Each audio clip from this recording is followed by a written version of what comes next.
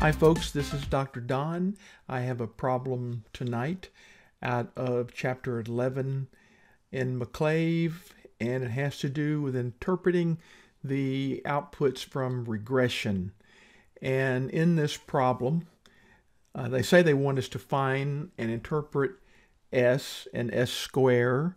S, you remember, is the estimated standard error of the regression model, or as some uh, call it, estimate of the error of standard deviation of the model. And S square, of course, is the variance of the model, variance of the error of the model. It says eh, we have a manufacturing process, we've got a concern with the useful life of a cutting tool. It says it's linearly related to the speed at which the tool is operated. And they're giving us data about two different brands of cutting tools. And they want to know for which brand would you feel more confident using the least squares line to predict useful life for a given cutting speed.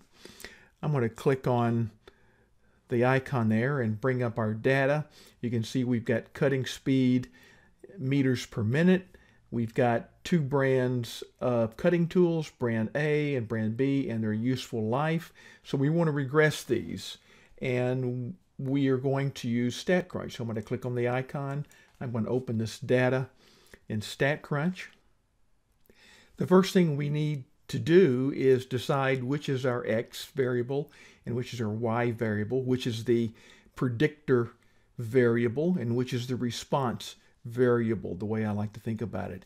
In this case, they're asking us to predict useful life, therefore, useful life would be our response variable y using the brand. So our brand is our predictor, and that is the x. So let's go to stat, regression, simple linear, brings up our dialog, and our x variable is going to be the cutting speed, and then we're going to predict the useful life of A, and I'm just going to leave the rest there and click on compute, and we bring up an answer box here, and I'm going to expand that so that we can see it.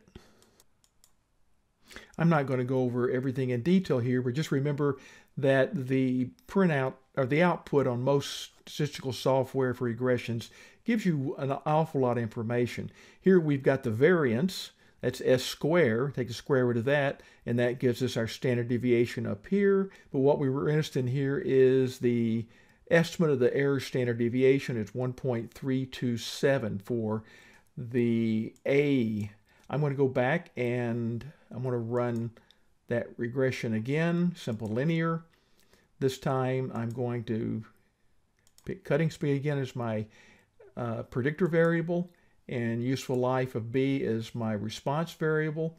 Click on compute and I'm going to drag this out so we can uh, see everything here. Expand it a little bit. And here we see our estimate of error standard deviation this time is 0.590. So B has a smaller standard deviation estimate of the error.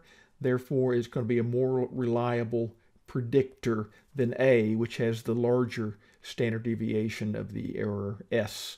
And let's see if that's what they came up with. Yes, uh, 0.590, which is the standard deviation for brand B, 1.327 rounding for brand A. Brand B's S is smaller than brand A's, therefore brand B is a better predictor. Hope this helps.